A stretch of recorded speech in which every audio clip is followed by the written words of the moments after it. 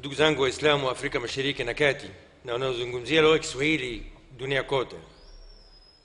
hotuba yetu ya leo kutoka wizara ya wakfu ya misri na mimi ni aiman al asar kitivo cha lugha na ufasiri sehemu ya lugha za kiafrika chuo kikuu cha al azhar hotuba yetu ya leo kwa anwani ya uluu lhimma sabilu lumam almutahadira kuwa na hima ya hali ya juu ndiyo njia pekee ya kustaarabika kwa mataifa sifa zema sifa njema ni zake mwenyezi mungu mtukufu mola mlezi wa viumbe vyote anayesema katika kitabu katika qurani tukufu سابقوا إلى مغفرة من ربكم وجنة عرضها كعرض السماء والأرض أعدت للذين آمنوا بالله ورسله ذلك فضل الله يؤتيه من يشاء والله ذو الفضل العظيم kimbilieni msamaha wa mola wenu mlezi na pepo ambayo upana wake ni kama upana wa mpingo na ardhi iliyowekewa waliomwamini mwenyezi mungu na mitumu wake. Hiyo ndiyo fadhila ya mwenyezi mungu humba mtakaye na mwenyezi mungu ni mwenye fadhila kuu. Na ni- ninashuhudia kwamba kuna mungu mwingine anayestahiki kuabidiwa kwa haki isivyokuwa mwenyezi mungu mtukufu mola mlezi wa viumbe vyote asiye na mshirika wake نانينا شوديا كوان بابا نويتو محمد صلى الله عليه وسلم نمتومي نام نمجا نمجوم بواكه أما بعد حقيقة ديني الإسلام وما فنديش وياك يعني هز يجو ونهميزا كوانا هما يجو بدي جتهادا نا أجنزي نا ونزويا وزنبي وفيفو نا وهربيفو نهاية yamekuja katika jumbi zote za mwenyezi mungu mtukufu zilizotangulia ambapo anasema mwenyezi mungu mtukufu am lam yunabba bima fi suhfi musa wa ibrahim allazi waffa alla taziru waziratun wizra ukhra وأن ليس للإنسان إلا ما سعى وأن سعيه سوف يرى ثم يجزاه الجزاء الأوفى أو هكوambiwa yaliyomo katika vitabu vya Musa na vya ibrahim aliyetimiza ahadi ya kwamba hakika nafsi iliyopepa mazambi haipepi mazambi ya wengine na ya kwamba hatapata mtu ila aliyoyafanya mwenyewe na kwamba vitendo vyake vitaonekana kisha ndiyo atalipwa malipo yake kwa ukamilifu na mtume sallallahu alaihi wasallam wa sallam amekwisha bainisha uzito wa kuwa na hima ya juu katika kauli yake sallallahu alaihi wasallam hakika mwenyezi mungu mtukufu ni mkarimu na anaupenda ukarimu na tabia zilizo njema na anachukia tabia mbaya na bwana wetu umar radiallahu anhu anasema msidogeshe hima yenu hakika mimi sijawahi kuona kinachozuia tabia njema kuliko uchache wa himma. Na imesemwa kwamba miongoni mwa alama za kupivuka kwa akili ni kuwa na hima ya hali ya juu. Mambo ya kuwa ya, na hima ya hali ya juu hakuishii tu katika nyanja maalumu bali ni lazima kipatikane katika kila anayoyafanya mwanadamu katika maisha yake na katika hayo ni ibada sheria tukufu imehimiza kuharakisha na kushindana katika uwanja wa ibada ambapo anasema mwenyezi mungu mtukufu وسارعوا إلى مغفرة من ربكم وجنة عرضها السماوات والأرض أعدت للمتقين na yakimbilieni maghfira ya mola wenu mlezi na pepo ambayo upana wake ni mpingu na ardhi iliyowekwa tayari kwa wacha mungu na mwenyezi mungu mtukufu aseme asemaye kweli amekuwa ya malipo makubwa kwa mweni kujihangaisha na kufanya bidii katika ibada zake akasema sallallahu subhanahu wa ta'ala ومن أراد الآخرة وسعى لها سعيها وهو مؤمن فأولئك كان سعيهم مشكورا na anayeitaka akhera na akazifanyia juhudi amali zake naye ni muumini hao juhudi yao itakuwa ni ya kushukuriwa na mtume wetu sallallahu alaihi wasallam alikuwa mtu mwenye hima ya hali ya juu katika mambo yote ya maisha yake ikiwemo ibada hakika mwenyezi mungu tukufu alimsamesha akamwambia ya ayuha lmuzammil qumi llaila illa qalilan nisfahu au unqus minhu qalilan au zid alayhi warattil lqurana tartila inna sanulqi alayka qawlan thaqila. Ewe waliojifunika kesha usiku kucha ila kidogo tu nusu yake au ipunguze kidogo au izidishe. Na soma qurani kwa utaratibu na utungo hakika sisi tutakuteremshia kauli nzito. Kwa hiyo mtume salllah alih wa sallam akawa anakeisha usiku mpaka miguu yake inavimba na alipoulizwa juu ya jambo hilo akasema salllah alih wa sallam kwa nini mimi nisiwe mja mwenye kushukuru na wingi ulioje wa mtume salllah alih wa sallam kuwahimiza masahaba wake na umma wake juu ya kuwa na sifa ya kipekee na hima ya hali ya juu anasema mtume wetu salllahu alehi wasallam mnapomwomba mwenyezi mungu mtukufu basi mwombeni bebu ya firdausi kwani hakika hiyo ni pepo iliyo ya kati na ya juu katika pepo. Na juu yake kuna arshi ya mwenyezi mungu mtukufu na kutoka huko inachimbuka mito ya peponi. Na hima ya hali ya juu katika ibada hupelekea uzuri wa kutekeleza ibada hiyo na kudhihirisha athari yake katika mwenendo wa mtu na katika tabia yake. Hasemi uongo hawi mhazini na wala hadanganyi katika bidhaa na miongoni mwa nyanja muhimu za kuwa na hima ya hali ya juu ni elimu. Mtume sala llah salam ametuamrisha tumwombe mwenyezi mungu mtukufu elimu yenye manufaa ambayo manufaa yake yanarejea kwa viumbi vyote na viumbi wote wa mwenyezi mungu mtukufu anasema mtume wetu sallallahu alaihi wasallam muombeni mwenyezi mungu mtukufu elimu yenye manufaa na mjikinge kwa mwenyezi mungu mtukufu na elimu isiwi na manufaa. Kwa hiyo miongoni mwa dua zake mtume wetu sallallahu alaihi wasallam sallam ewe mola wangu hakika mimi ninajikinga kwako na elimu. Kwa hiyo elimu inayofaa ni silaha ya kweli inayozipa nguvu nchi na kwayo mataifa husonga mbele na hakuna taifa lolote lililosonga mbele isipokuwa kwa elimu. Na hakuna taifa lolote lililochelewa kimaendeleo isipokuwa kwa kuzembea na kuchelewa kwake katika nyanja mbalimbali za elimu. Na masahaba wake mtume sallallahu alaihi wasallam na waliwafuatia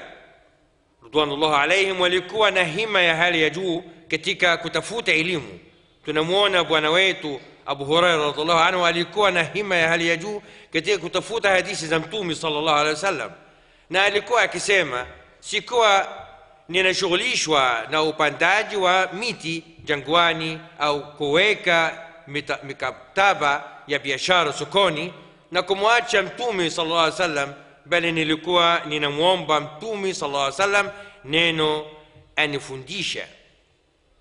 akasema ibnu umar radiallahu anhu ewe abu huraira wewe ulikuwa na mtume sala llah alih sallam zaidi yetu na ulikuwa mjuzi zaidi yetu wa hadithi za mtume sala llahu alaihi wasallam naye ismail ibni yahya amesema nimemsikia shafii radiallahu anhu anasema nimehifadhi qurani nikiwa mtoto wa miaka saba na nikahifadhi kitabu cha hadithi kiitwacho muwatta nikiwa na umri wa miaka kumi. Na imamu ahmad mola amrehemu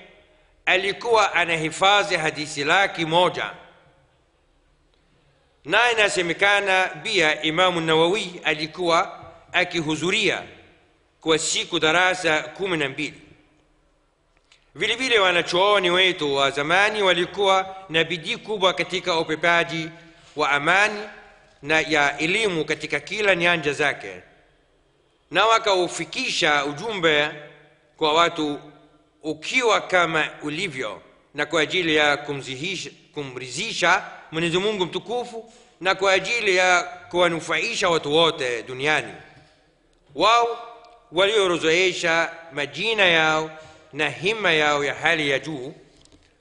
kwa kazi yao hiyo kwa herufi za nuru kwenye kumbukumbu ya historia anasema mwenyezi mungu mtukufu faama lzabadu fayadhhabu jufaan wa ama ma yanfau nnasa fayamkusu fi lard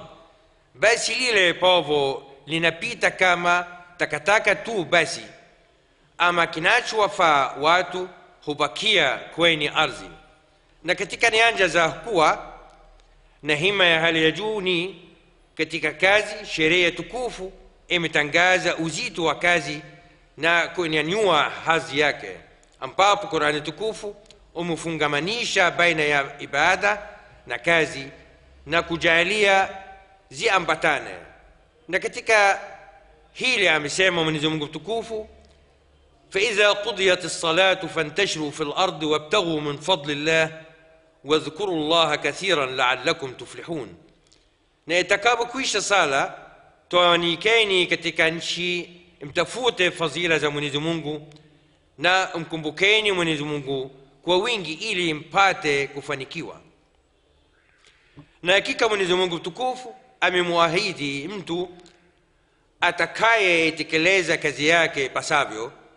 atakuwa na maisha mazuri duniani na atakuwa na neema ya makazi mazuri siku ya kiama na anasema mtume mtu na anasema mwenyezi mungu mtukufu katika aya zingine man amila amalan man amila salihan min dhakarin au untha wa huwa muminun falanuhyiyannahu hayatan tayibatan walanajziyannahum ajrahum biahsani ma kanu yamalun mwenye kutenda mema mwanamume au mwanamke naye akawa ni muumini tutamuhusisha maisha mema tutawapa ujira wao kwa yali- ya waliokuwa wakiyatenda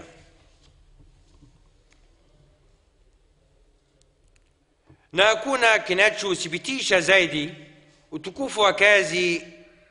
kuliko mitume alaihim salam ambapo wote walikuwa wanafanya kazi adamu alaihi salam ibrahim alaihi salam na lut alaihi salam walikuwa wakulima nuh alaihi salam alikuwa fundi seremala na idrisa alikuwa fundi cherehani chunaji wa nguo salihun alaihi salam alikuwa mfanya biashara na daud alaihi salam alikuwa mhunzi kwa hiyo thamani ya mtu hupanda juu kwa kufanya kazi akaweza kusimamia vizuri kile anachokiweza kazi ni bora kuliko kuomba omba watu. Anasema mtume sala llaw sallam ni bora mtu akaenda kukata mzigo wa kuni na kuopepa ili auuze kuliko kuomba omba mtu anaweza akampa au akamninima na imaanishi tu kazi bali kuifanya kazi hiyo ipasavyo anasema mtume, mtume wetu sallallahu alaihi wasallam, hakika mwenyezi mungu mtukufu anapenda pindi mmoja wenu anapofanya kazi basi aitekeleze ipasavyo. Na mtume sallallahu alaihi wasallam alikuwa anapupia kila mtu awe na kazi nzuri inayomnufaisha yeye na mwingine. Anasema mtume wetu sallallahu alaihi wasallam, kila Muislamu ana jukumu la kutoa sadaka wakasema ewe mtume wa mwenyezi mungu mtukufu kama mtu hakupata kitu cha kutoa sadaka je? Akasema mtume afanye kazi kwa mikono yake ili ajinufaishi yeye mwenyewe na atoe sadaka. Wakasema na kama hakupata je? Akasema mtume amsaidie mwenye shida kubwa. Wakasema na ikiwa hakuweza kufanya hivi ujie akasema basi afanye mema na ajizuie na kila aina ya shari kwani kufanya hivyo kwake yeye ni sadaka. Na miongoni mwa daraja za juu za himma ni himma ya kusaidia jamii na kumsaidia mnyonge na kumwokoa mwenye huzuni ya kupoteza mali na kukizi mahitaji ya wenye kuhitaji. Na ushujaa wa kupambana vitani na utukufu wa nafsi mtu mmoja alienda kwa mtume sallallahu alaihi wasallam akasema ewe mtume wa mwenyezi mungu mtukufu ni nani anapendwa zaidi na mwenyezi mungu mtukufu? Na matendo yepi yanayompendeza zaidi mwenyezi mungu mtukufu? Mtume sallallahu alaihi wasallam akasema anayependwa zaidi na mwenyezi mungu mtukufu ni yule anayewanufaisha watu na katika matendo yanayopendwa zaidi na mwenyezi mungu mtukufu ni kuingiza furaha mwislamu au kumtatulia jambo zote au zito au kumlipia deni au kumwondoshea njaa kumlisha chakula na ni bora kwangu mimi kutembea na ndugu yenu na ndugu yangu katika kumtatulia jambo lake kuliko kukaa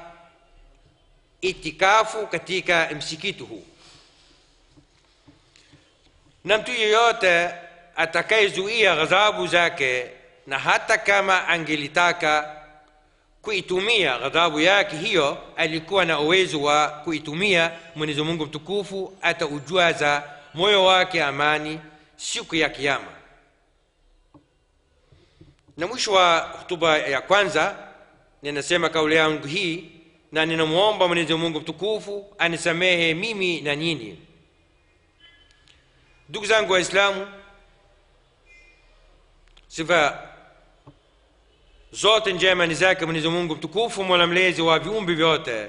Na ninashuhudia kwamba hakuna mungu mwingine anayestahiki kuabidiwa kwa haki isipokuwa mwenyezi mungu mtukufu mola mlezi wa viumbi vyote apasaye asiye na mshirika wake. Na ninashuhudia kwamba hakuna na mtume wetu muhammadin salllah wasallam ni mtume, mtume na mjaa wa mwenyezi mungu mtukufu. Ndugu zangu waislamu hakika kwa ajili ya nyanja ambazo tunapaswa kushindiana sisi sote na tuwe na hima ya hali ya juu ni kutukumikia nchi. Utumishi kwa ajili ya nchi ni katika imani na mwenyezi mungu mtukufu ametuamrisha tushindiane katika uwanja wa heri na manufaa ambayo athari zake zinarejea kwa taifa lote. Ambapo anasema mwenyezi mungu mtukufu فاستبقوا الخيرات إلى الله مرجعكم جميعا فينبئكم بما كنتم فيه تختلفون. بس شنداني كو مامبو يا خيري كو من زمونكم ديو مريجي وين ويونوتي نا تكوجا كو عم بيني يالي يالي كو مختلفيان نمو نزمونكم تكوفو أما وصيفو اجواكي وأنا كمبليا كو سعيديا واتو مامبو مزوري na anabainisha mwenyezi mungu mtukufu kwamba heri hiyo humnufaisha muhusika duniani na akhira na anasema pia innahum kanu yusariuna fi lkhairati wayadunana raghaban wa rahaban wa kanu lana khashiin hakika wao walikuwa wepesi wa kutenda mema na wakituomba kwa shauku na hofu nao walikuwa wakitunyenyekea na kwa kuwa na hima ya hali ya juu na utashi wa kuwanufaisha watu na kuwa na ukamilifu wa imani juu ya fadhila zake mwenyezi mungu mtukufu na taufiki yake. Na katika kuwa na hima ya juu ni hima ya kuzijenga nchi na kupepa majukumu ya kijamii na kushindana katika mambo ya wema kama vile kukarabati misikiti kujenga shule kununua vifaa vya mashu hospitalini na kuwatibu wagonjwa yote haya na mingine kama haya ni sadaka endelevu. Ambapo anasema mtume wetu sala llah wasallam, mambo saba ujira wa mja ataendelea kutolewa baada ya kufa kwake akiwa kaburini kwake. Mtu atakayefundisha elimu yote au akazipua mto au akachimba kisima au akapanda mtende au akajenga msikiti au akarisisha qurani au akaacha mtoto anayemwombea msamaha kwa mwenyezi mungu mtukufu baada ya kufa kwake. Na wajibu wetu ni wa kuitumikia nchi yetu ambayo sote tunaishi ndani yake. Na heri inarejea kwa wananchi wake wote na tukayafikia hayo kwa mshikamano na umoja wetu. Kwa mzinduko na kuhurumiana na kunyoosha mkono wa kumsaidia kila mtu kwani nchini ya kwetu sote na inasonga mbele ikiwa ni sisi sote na sisi sio watu wenye utashi duni, duni au nguvu duni au juhudi duni kuliko wengine. Kwani sisi ni watu wenye ustaarabu asili na historia na hapana budi tutambue kwamba kupatikana kwa maendeleo na kuwa juu kuna hitaji kupambana na magumu yote na kujikana kwa ajili ya kuwatumikia watu wengine kwani maadili mema hupatikana kwa tabu na masilaha ya kheri hazifikiwe isipokuwa kwa juhudi za uzito mkubwa. Ewe mola wetu mlezi tunakuomba uturuzuku hima ya hali ya juu tutakazozitupatia katika ushindani fadhila kusonga mbele na kuimarika katika mambo yanayotufaa duniani na akhera na uilindi nchi yetu na nchi zote duniani na dua yetu ya mwisho ni alhamdulillahi rabbil alamin